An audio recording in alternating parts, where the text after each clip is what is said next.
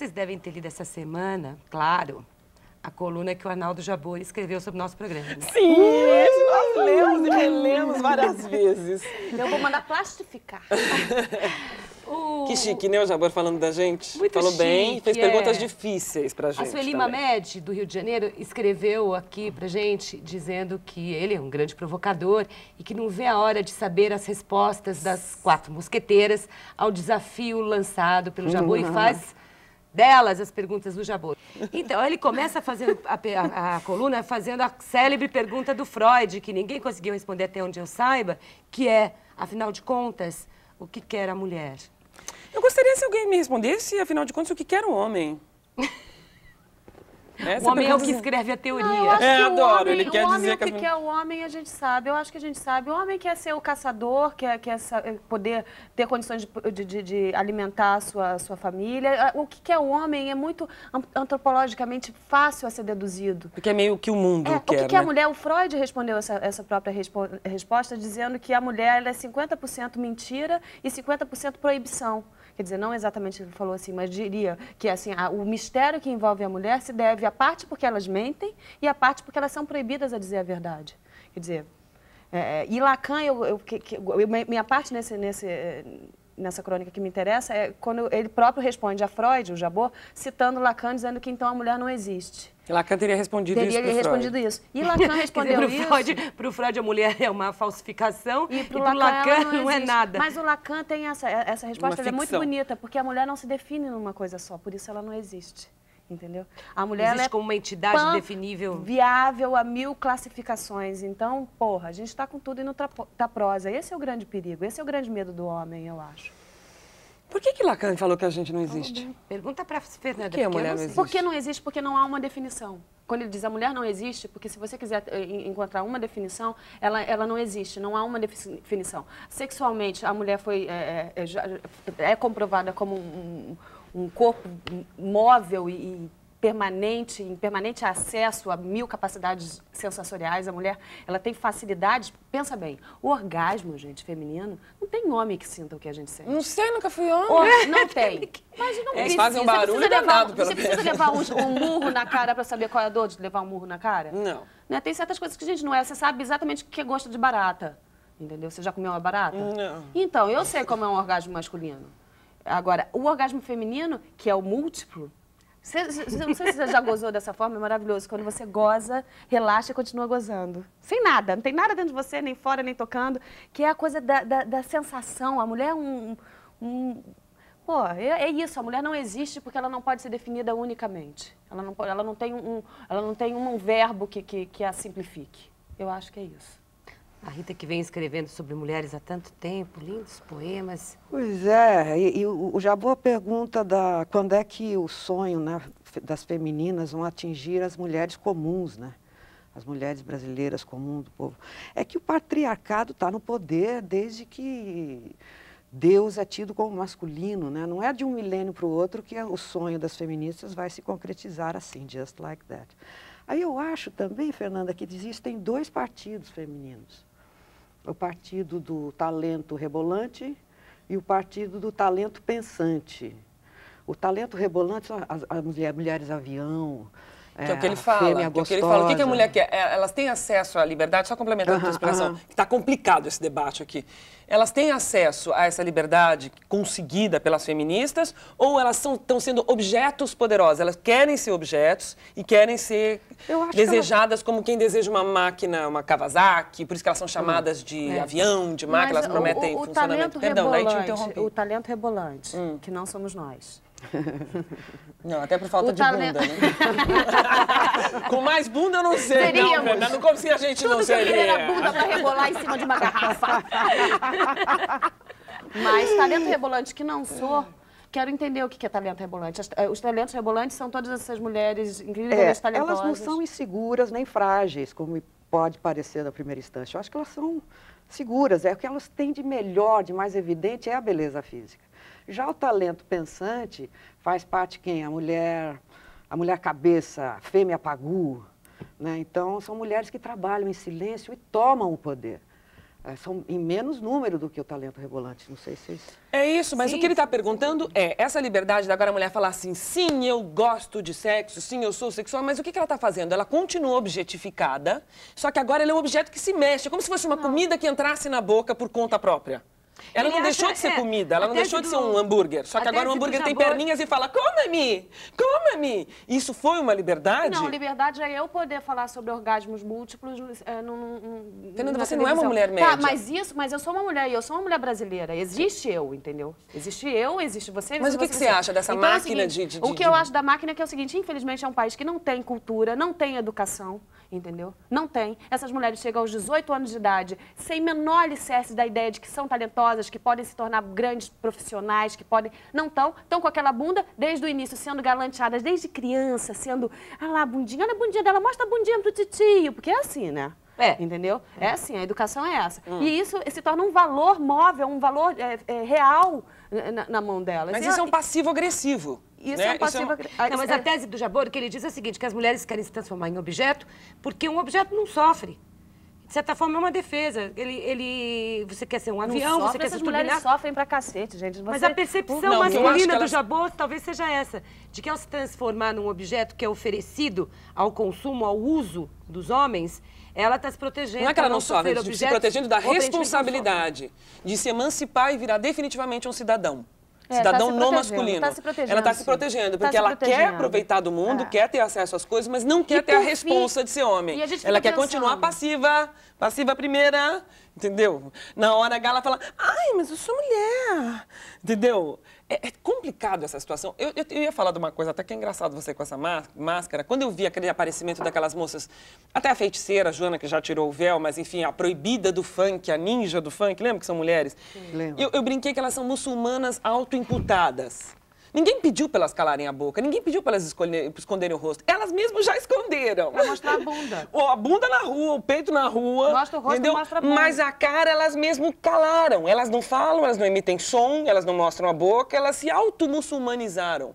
Eu achei isso engraçado, entendeu? A mulher que demorou tanto tempo a conseguir falar, elas mesmas botam um paninho para não atrapalhar o serviço dos rapazes. É engraçado, Isso é porque...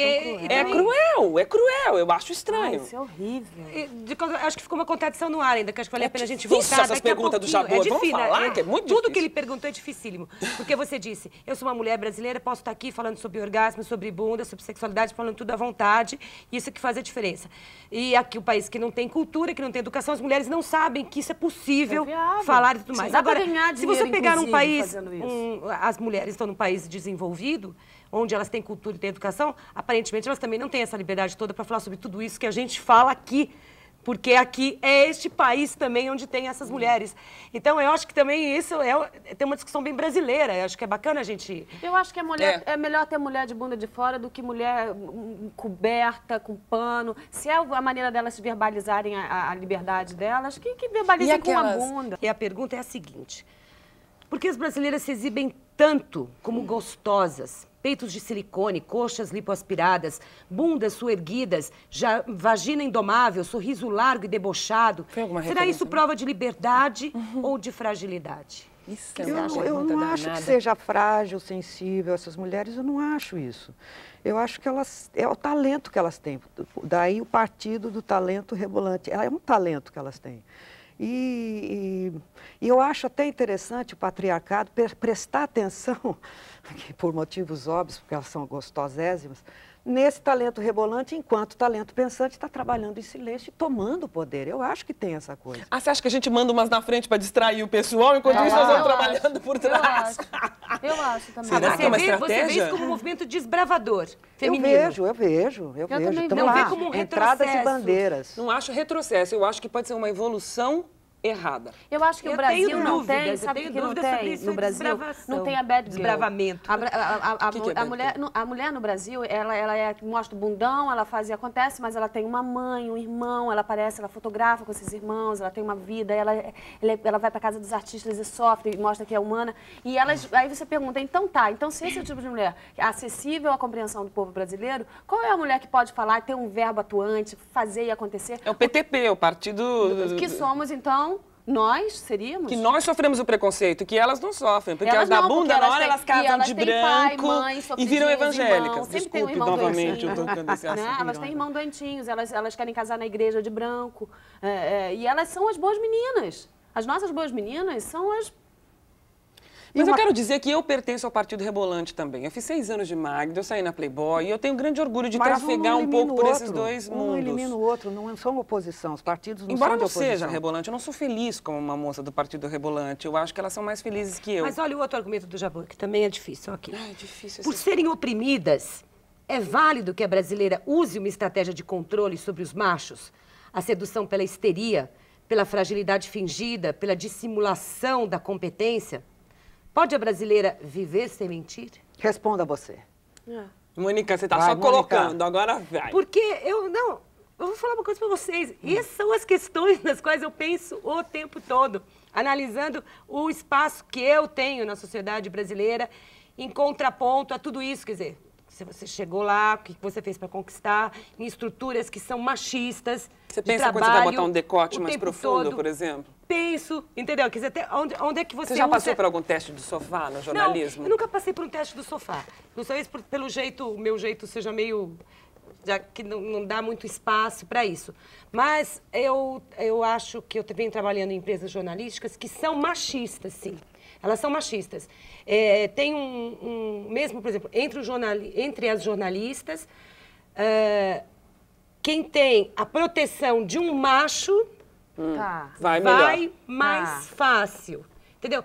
Não, não, não há, não, não acusando, não estou dizendo que as pessoas eh, transam para conseguir espaço, Tá. não é isso. Mas eh, há que se abrigar debaixo de algum guarda-chuva masculino. Porque a estrutura é machista e ela Eu me quer sinto um isso. pouco ela abrigada empurra pra isso. por Isso causa é, isso é dificuldade para quem não é assim. Então, essa para as mais independentes do meu tipo é, é mais complicado. Mais complicado. Mas é complicado para uma atriz também, porque a melhor é. coisa para uma atriz é ser mulher de diretor. Eu sou mulher É. de roteirista, gente. Eu Então, posso falar pra vocês o que então é, é- se- significa ser abrigada. É uma coisa muito constrangedora, porque é claro, entendeu? É, é, eu, eu viria a escrever pra televisão mais tardiamente. Você é mulher de um roteirista, Fernanda? Eu sou Você mulher é uma de- roteirista. Você é mulher de gente, roteirista? mas hello! Sim, eu sou mulher de Alexandre Machado, que é um roteirista de 20 anos de, de- TV pirata, de o cacete, e eu entrei, é claro, gente, vamos fazer. A gente está aqui tentando ser, ser honesto, eu acho que nada É. mais normal do que eu diga, claro, que as pessoas tomaram partido da minha existência como roteirista através do Alexandre, porque eu era assistente dele. E eu era mulher dele. Tanto que eu sei que piadinhas rolavam na nossa incrível empresa em que nós trabalhamos, entre amigos nossos, que é a gatinha que o Alexandre come. E é claro, entendeu? Eu publiquei cinco livros e até agora eu É, isso que eu imagino que as se pessoas... reduzir como não, mulher mas de eu comecei, assim, não é? eu comecei primeiro fazendo televisão. Agora, uma coisa é o seguinte, é, me sinto constrangida a respeito disso, não acho apenas que é uma casualidade da sorte que, que, que algumas pessoas é, ocorre, mas que foi uma sorte, foi um- uma maneira, uma entrada. É, Mas eu fico pensando se não tem alguma coisa de um texto, uma vez que eu vi do Luiz Mello, que chama Sonata Kreutzer, se não me engano é Tolstói. E ele é um homem que acabou de matar a mulher e foi absolvido por legítima defesa da honra. E ele quer dizer que ele gostaria de ter sido absolvido porque, por favor, homens, acreditem em mim, é um texto assim, acreditem em mim, para se viver com uma mulher, ou você se separa ou você a mata. Eu e ele acho. começa a desenvolver essa teoria. Ele fala assim: as mulheres são a minoria, mas você já percebeu quando você vai a uma loja de. uma, uma, uma rua de lojas, ou um shopping center, hoje seria, quantas lojas são voltadas para a mulher? Quantas lojas são voltadas para o homem? 98% do shopping center é para as mulheres. Essa minoria, coitada. Ele começa a dizer que é uma estrutura da sociedade. Ele fica comparando as mulheres aos judeus, as minorias, a força das minorias. A mãe e a filha se organizam, vão às lojas para se enfeitar, botar roupas incríveis para capturar os homens. E que toda a sociedade está organizada para pegar os homens. Entendeu? Que como esse poder da vítima é isso foi aumentando. Isso Por desde que que tem sempre. 90 Isso lojas para sempre. mulher e duas lojas um para homem, homem? Desde- desde- Esse desde- texto é uma obra-prima sobre isso. E o cara fala, mas eu não quero ser Desde esse a absolvido Antiga, pela... desde os mitos, desde Então, os pagãos. isso não é o poder da vítima e a gente não está chegando ao momento superlativo disso, que está ficando na cara demais, e a mulher não está querendo se emancipar de fato. Porque se a gente se emancipar de fato agora, a gente vai ter que largar a mão do Mas sonho a da gente tá Cinderela. querendo se e a gente gente está querendo ir lá e não está querendo largar a Cinderela. É, a gente não está querendo abrir mão do osso, entendeu? E chegar no momento de osso e falar, "Hum, gato, você tá lindo, bota uma roupinha mais bonita para eu ver. Ativa a gente não quer ser. E será que a mulher é para ser ativa? Ou vai ficar esquisitíssimo e a gente não tem isso dentro da gente? Eu não sei. A gente, o movimento feminista chegou a um ponto que a gente tem que entender. Se a gente abre mão do sonho de Cinderela, da, da princesa, do castelo, Não, do acho que a dragão. gente já passou por esse momento feminino dessa crise. Ah, a gente não eu quer acho que abrir, já, a a gente gente não quer quer as duas largar coisas. mas, osso. Voltando à Madonna, será que sou mono, mono- monotemática? Mas é o seguinte, eu acho que a gente conseguiu mesmo colocar um, um braço aqui e outro aqui. Pegar o verbo, pegar falar, pegar ganhar grana e ao mesmo tempo pegar de ter um bofe que te abre algumas portas, que te abra definitivamente portas de carro e te coloca pra dentro. Eu acho que esse equilíbrio é o que a gente quer. É e, e se gostoso. hoje em dia existe a gente falar sobre isso, é porque mulheres. hum, hum, hum, Rita, por exemplo, que pra mim é uma ídola, entendeu? Eu hoje em dia sou o que sou muito por ter escutado as músicas de Rita Lee falando sobre um monte de coisa. Rita Lee, Pra ela a deve sua- ter sido mais complicado. Foi complicado pra você alguma coisa a respeito da sua liberdade, da sua Como mulher. po- postura ativa como mulher, como artista? Pô, nos anos 60, tinha um ditadinho. Para fazer, ainda tem que ter com sotaque paulista, para fazer rock and roll tem que ter culhão. Isso eu escutei a vida inteira. Caramba, e sem culhão, né? Era uma loucura, teve muito. Tem que ter ovário, eu meu amigo. Você eu não deveria ter ligava, resposta. Você não liga, mas também você é a única roqueira, quer dizer, nós não, tamo- não somos um país de roqueiras, né? Talvez, Não, talvez tenha sido uma. uma- é, tem sim yang, tá? Olha aqui, o Jabor deixa uma outra pergunta sensacional no ar. Mas eu queria só perguntar para Rita, ela falou que mulheres se dividem em dois partidos, Hum. partido das rebolantes e das pensantes, e os homens se dividem em quantos partidos? Vários. Tem o Vários. partido Viagra, partido Pau Pequeno, partido Marido Desempregado. Eles, são, eles, têm, eles têm vários. Partido pau grande, só tem, Tem partido pau grande, tem partido estuprador com complexo, tem partido corno manso, tem vários partidos. E a gente só tem. E Tem o eu- partido corno bravo. E eu acho que o talento rebolante o talento pensante têm o mesmo objetivo, que é Dominar arran- os homens, por isso que eles estão um macho amigo. A gente não é Eu- inimiga é, deles como a, eu não o sou Jabor inimiga, não. Não é. Tem um macho amigo, de preferência rico, gostoso, Talentoso. e talentoso, inteligente, sempre no mesmo trabalhador. para com ele gerar filho. Eu de eu- eu Vindo num procurei um cavalo macho. Eu procurei meu macho. Você procurou? Eu procurei meu macho. Eu me preparei pro meu macho.